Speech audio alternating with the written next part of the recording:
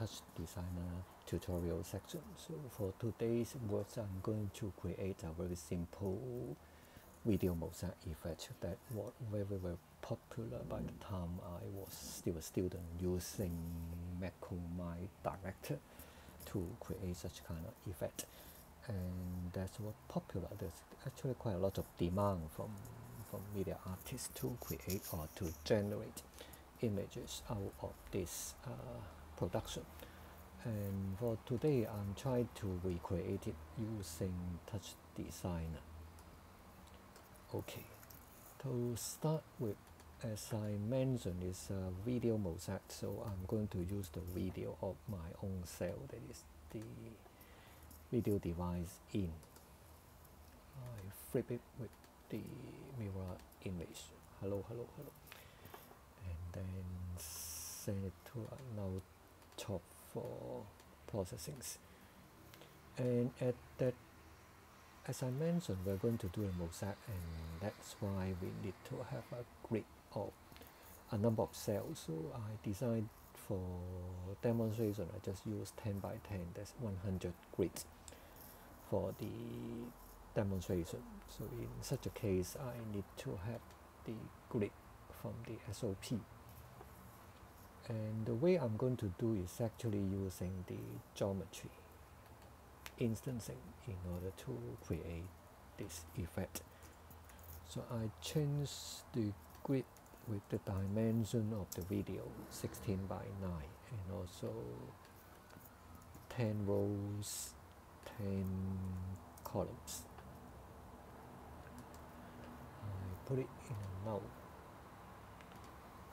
and then can rename the node to like position so that will determine the position of each of the video clips around there.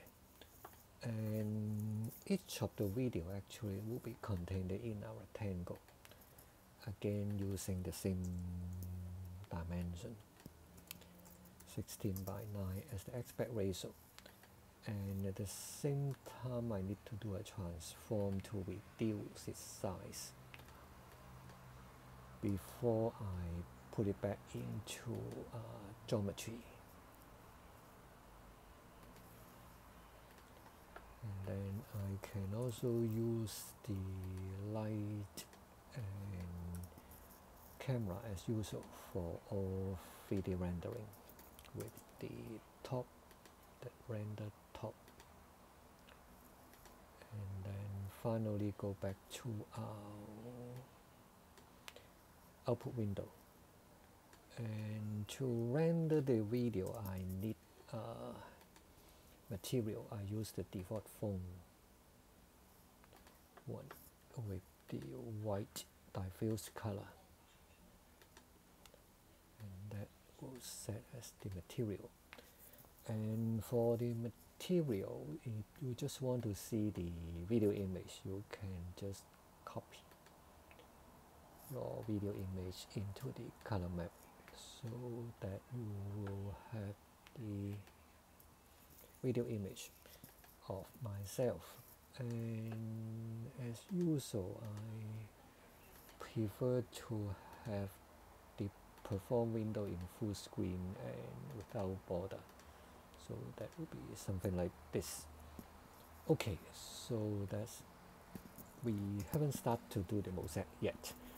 And at the same time I can also change my camera projection from perspective to orthographics as I'm not doing any Z dimension. Okay and now we're ready to start with our geometry instancing. Okay we can turn on our instancing. The first will be the arrangement of the x and y direction which is determined by the position of the grid. That is the position here. So I drag this to the translation of and then change the translate x to p0 that is x direction. And then that one will be p1 for y. And uh, p two that you can do it optionally? Because there's always be uh, zero at this moment. And the result will be something like this. It's more or less like correct except that we haven't reduced the size of our original rectangle. So in such a case that you can decide how much to reduce so I can test with 0.1 to see if it fit the screen or not. 10 by 10 0.1 is supposed to be the good solution. So now it is done. You have the identical copy of myself in this uh, video mosaic grid. Okay. So the original design is a little bit different because we also need to tint each of the grid around here because and at this moment is using the white color as the tints that you kind of uh, recover the original color of the video. And if you want to have the illusion that the bigger image has some sort of cell similarity with the smaller image so we might want to tint each of the cell according to the pixel that we obtain from that particular location. So what we would like to do with this one is we can create a smaller size of my image with a resolution top so this one I can send it here. With this one I can do a custom resolution with just 10 by 10 that is 100 pixel.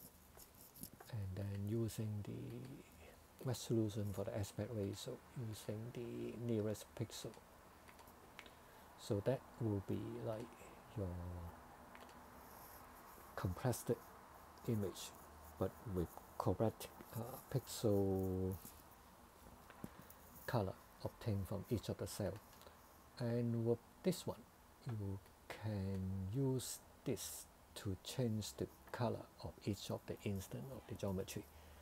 So I connect it with another node and we name it as color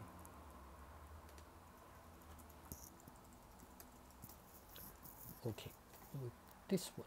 In the geometry instance in the second column we have something called color op. So we drag this to color op and change the RGB with the corresponding RG and B.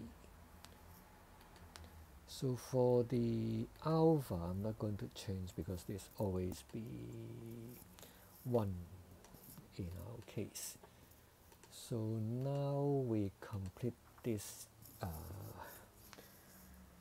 old effect of video mosaic that each one of the cell come with a color tint that corresponding the the pixel color of that uh, physical area. So that you can also see.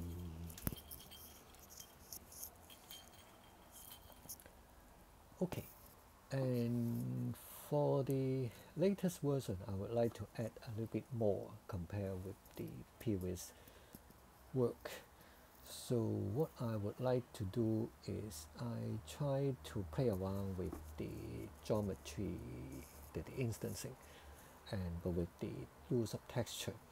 And in macOS actually the texture instancing is not fully supported, but we can still figure out some way to play around with this one. So for this one, I am going to replace this texture by uh, texture 3D top. So instead of using this, I send it to the texture 3D. And for the texture 3D, I also change the cache size to 100 to include different uh, texture images for each of the cell. So there will be 100 copy of this in the graphics storage. So the original texture is now one that is the whole image. So instead of using this one I remove this. And it get back to the white so it's still quite good looking in the sense you have this kind of ultra low res of my own image. And then I drag this one to the color map as the texture. So if you do not change anything in the Uh, texture instancing you still get the latest copy of my image around here. Okay and to play with this one so we try to look for another area. So that area will be like around here so we can scroll down a little bit so there will be uh oh actually this is here. The texture coordinate is around here. So we can make use of this uh, op and then tries to change the parameter. And what I would like to do here at this moment is I create a ramp and then use a linear ramp to change the W. So W seems to be like the indexing into the different images in the texture 3D content. So I will use a ramp from the Pattern CHOP and then I change the normal sine wave to ramp so it start from 0 to 1 and at the same time I reduce the length to just 100 because we only have 100 cells in the grid and also 100 copies of this texture instance. And with this one I put a node around here. And I can also rename it as texture okay and then I drag this one to the texture op and with this texture op I open up the W index to choose the channel 1 with picking up the different images from the texture 3D content. So the overall effect will be like save my file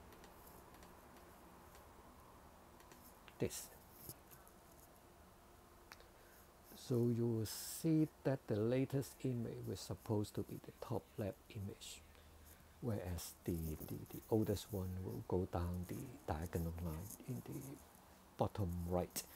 And in each of the cells in the grid so they come from different moment of time. So that is an enhanced version of the original mosaic effect with touch designer. Okay. Thank you. Bye bye. See you next time